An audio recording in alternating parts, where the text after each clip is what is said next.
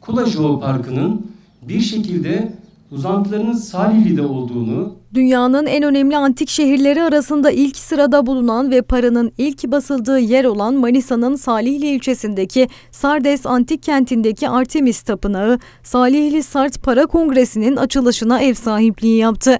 Salihli Belediyesi ve Manisa Celal Bayar Üniversitesi'nin işbirliğiyle gerçekleşen kongreye Manisa Valisi Yaşar Karadeniz, Manisa Celal Bayar Üniversitesi Rektörü Profesör Doktor Ahmet Ataç, rektör yardımcıları Salihli Kaymakamı Mehmet Kamil Sağlam, Ahmetli Kaymakamı Abdullah Kurt, Salihli Belediye Başkanı Zeki Kayda, Manisa İl Kültür ve Turizm Müdürü İbrahim Sudak, Manisa Büyükşehir Belediyesi Başkan Danışmanı Azmi Açıkdil, Ayıgayı Kazı Başkanı Yusuf Sezgin, akademisyenler, banka bankacılar ve davetliler katıldı.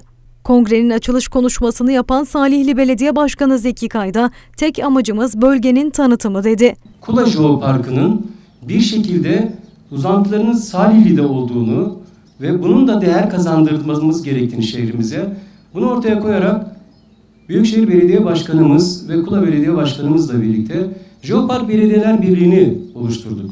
Ve bu çerçevede bu şehrin tanıtımı çerçevesinde geçtiğimiz dönemde ilçemizde ilk kez tarihte paranın basıldığı bu noktada ve kullanıldığı noktada 9, 10, 11 Ekim 2015 tarihlerinde 7 tane üniversitenin katılımı, Kültür Bakanlığımızın, Darphane Genel Müdürlüğümüzün, İstanbul Altın Rafineri'nin, İstanbul Kuyumcular Odası'nın, Mücevher ve İhracatçılar Birliği sektöründen önde gelen firmaların destekleri ve katılımların katılımları ile Lidya Altın Ülke Uluslararası Katılım katılımlı Altın, Gemoloji ve Kuyumculuk Sempozyumunu düzenledik. Üç gün sürdü bu sempozyum.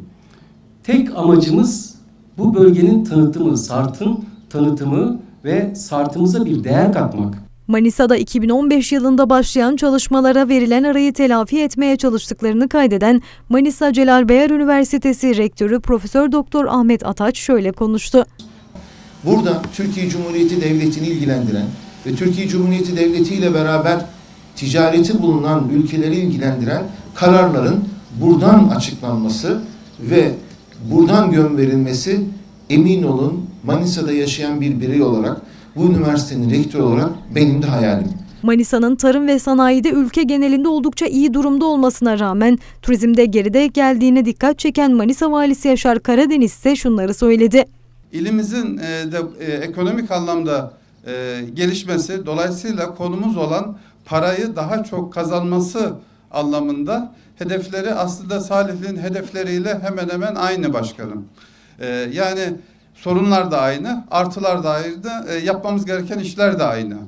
E, gerçekten Salihli'de Manisa il geneli olarak da tarımda ve sanayide oldukça iyi durumdayız. Daha da iyi olmak için gayretlerimiz elbette devam edecektir. Ama turizm konusunda biraz daha geriden yol başlamışız. Burada da e, bir ivmemiz var il olarak. E, ama turizm konusunda da başarıya ulaşmanın e, ana yollarından birisi birbirinden kopuk, bağımsız hareketlerden ziyade e, belli e, potansiyeli yüksek olan alanları turizm zonları bölgesi halinde oraları iyi işlemek, onları birbiriyle güzergahlarla ki turizmciler buna destinasyon diyor, destinasyonla birbirine bağlamak ve son tahlilde de bunların iyi tanıtımını yapmak. Ben iki e, unsurun öne çıktığını görüyorum. Birisi Manisa Merkez, Spil Dağı ve Yunt Dağı'nı içeren bölge. İkinci önemli zonumuz ise Kula ve Salihli bölgesi. İşte biz il olarak bu iki noktaya ne kadar yüklenirsek o kadar turizmde yol alacağımıza inanıyorum. Vali Karadeniz'in konuşmasının ardından Artemis Tapınağı'nın büyülü atmosferi içinde konuklara Salihli İktisadi İdari Bilimler Fakültesi öğrencileri tarafından hazırlanan gitar rezitali sunuldu.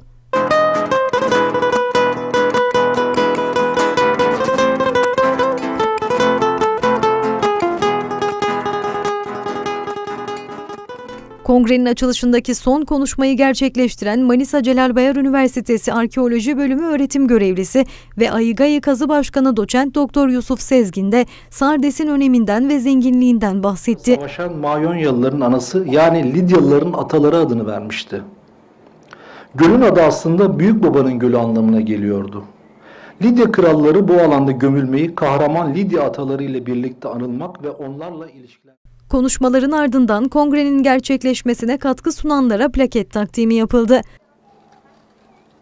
Açılış töreninin sonunda davetliler tarihte ilk paranın basıldığı teknikle M.Ö. 600 yılının yazılı olduğu ve ön yüzünde Lidya aslanının bulunduğu kendi paralarını bastı. Konuklar Artemis Tapınağı'nı gezdikten sonra alandan ayrıldı.